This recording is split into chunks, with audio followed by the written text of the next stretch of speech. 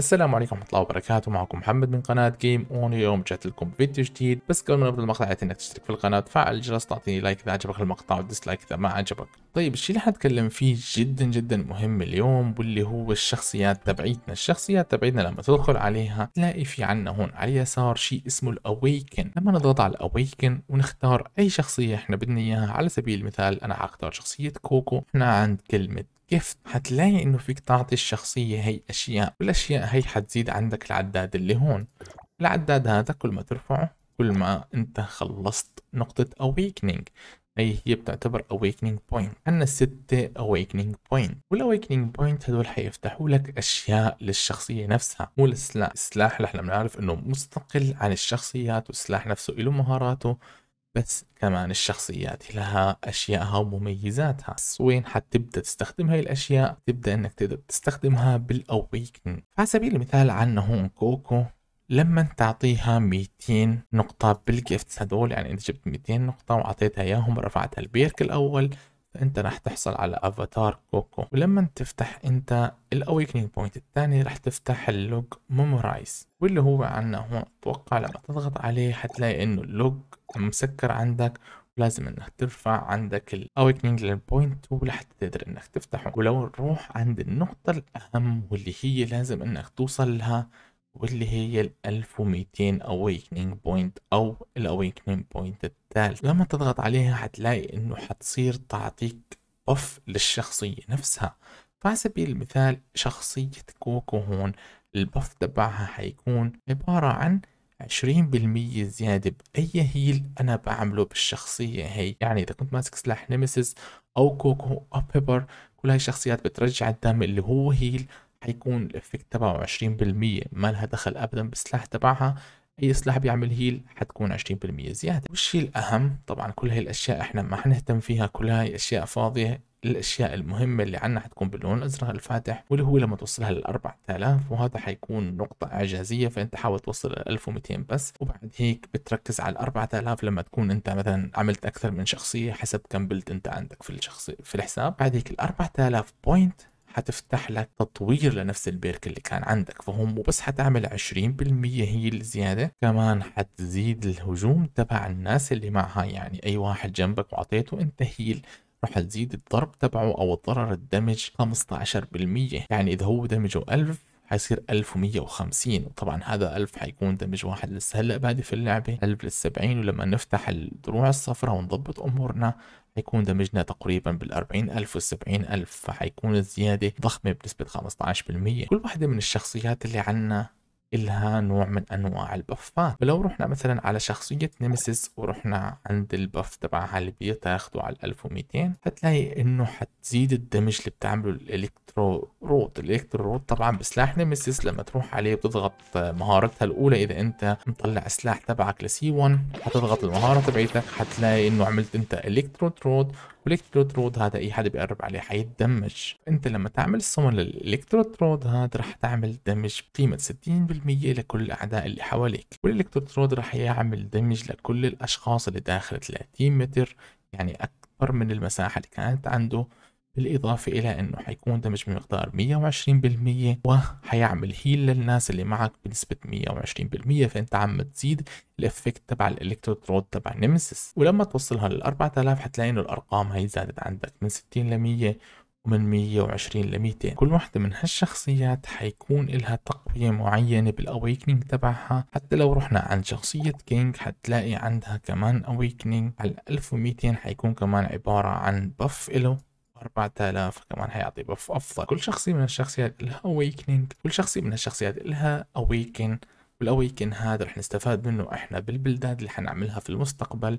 لنقول إذا عملنا build support إيش حتكون أفضل شخصية بالنسبة لنا لو عملنا مثلا build مهاجم إيش حتكون أفضل شخصية لنا بس كيف بدنا نعمل موضوع ال awakening بذكاء؟ لما نروح عند كلمة gift هون تلاقي إنه أنت فيك تعطي هدايا لإلهم والهدايا هي اللي حترفع عندك نقاط ال awakening طيب لما نعطي الزيرو العدة هي الموجودة عنا حتلاقي إنه هي حتزيد بقيمة 20 من ال 200 هي. بس إذا أخذنا التول هي ورحنا أعطيناها على سبيل المثل لشيرو كلمة كيف اعطيناها إياها حتلاقي هي عم تزيد 30 طبعا هي عم تزيد 30 لأنه بالأساس أنا زايدها 15 فلما نروح هون حتلاقي 15 فهون الرقم اللي على اليسار حيكون الرقم اللي أنت already عندك واللي على اليمين الرقم اللي أنت حتزيده. بتلاقي إنه ال tool box هذا حيكون مناسب جدا إنك تعطيه لشيرو. كيف بدنا نعرف إنه شو الأشياء المناسبة لكل شخصية؟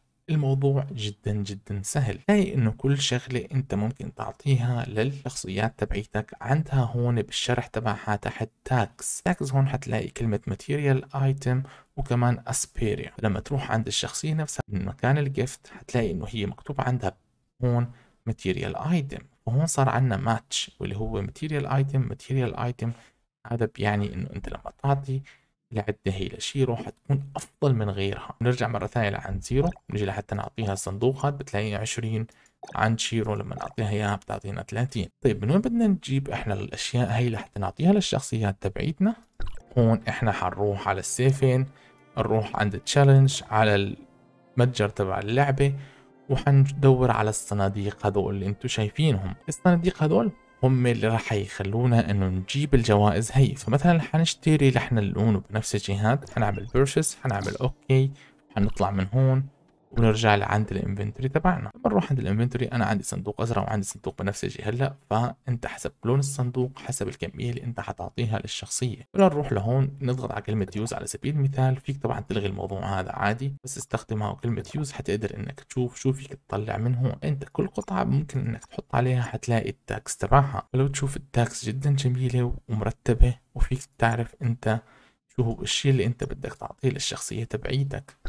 على سبيل المثال إحنا هلأ حنروح عند الشخصيات تبعيتنا هون ونروح عند الشخصية اللي إحنا بدنا نعملها awaken واللي إحنا حتكون مناسبة لنا حاليا أنا حشتغل على شخصية كوكو بما إنه حتعطي 20% زيادة heal بأي سلاح أنا حستخدمه. أما نسميسس حتستخدم زيادة بال heal هذا بس بالسلاح تبعها. فأنا حروح عند كوكو وأروح عند كلمة gift وأشوف إنه هي بتحب ال toys ال decoration وال rare item رجع لهون عند الصندوق حنعمل كلمة use وندور على شيء جدا مناسب إلها. وهون على سبيل المثال عنا rare item و decoration عنا اثنين من التاجات تبعيت كوكو.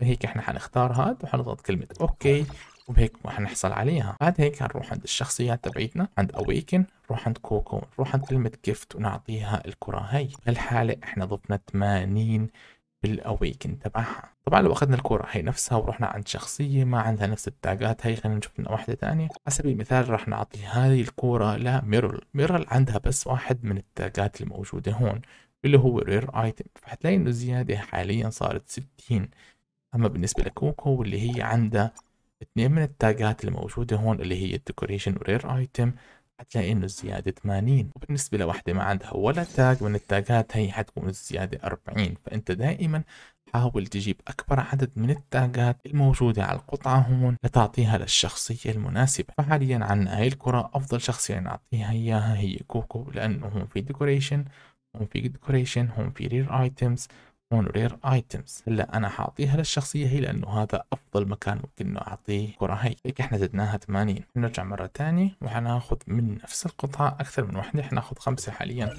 سبيل المثال ونروح نعطيهم كلهم للشخصية تبعيتنا ونفتح بعض البفات اللي عندها. نروح على كلمة awaken نروح على كلمة gift نعطيها نفس الكرة. هي كل الكمية اللي عندنا حتزيدها 400 فوق ال 80 اللي عندها. نعمل send هيك إحنا لما نروح عند information حنكون فتحنا أول وحدة واللي هي الأفاتار تبع الشخصية هي اللي هي كوكو. فهلأ لما نروح عند ال character حتلاقي إنه هون عندك بال avatars انضاف عندك الأفاتار تبع كوكو صار فيك إنك تقدر تستخدمه. هلا لو حطيته هون صار عندنا افاتار كوكو بدل افاتار نيمسيس وأنا هحط هلا كوكو بدل نيمسيس لأنه صراحة الصورة هي كوكو طالعة أحلى بكثير من نيمسيس فيها. بس لما أفتح صورة نيمسيس اللي هون أكيد ححطها بدل كوكو. ومعلومة بما إنه إحنا وصلنا لهون فيك تغير الافاتار تبعك avatar frame من هون إذا حابب إنك تغيره بنفس المكان. فهذا هو كل شيء لمقطع اليوم. أتمنى يكون المقطع عجبكم. اذا عجبك المقطع اعطيني like إذا ما عجبك اعطيني dislike بس اكتب لي في الكومنتات ليش ما عجبك. تنسى تشترك في القناة وتفعل الجرس. تجيك إشعارات في المقاطع والشروحات اللي حنزها اللعبة تاور فانتزي في المستقبل. وبنهاية المقطع بقول لكم في أمان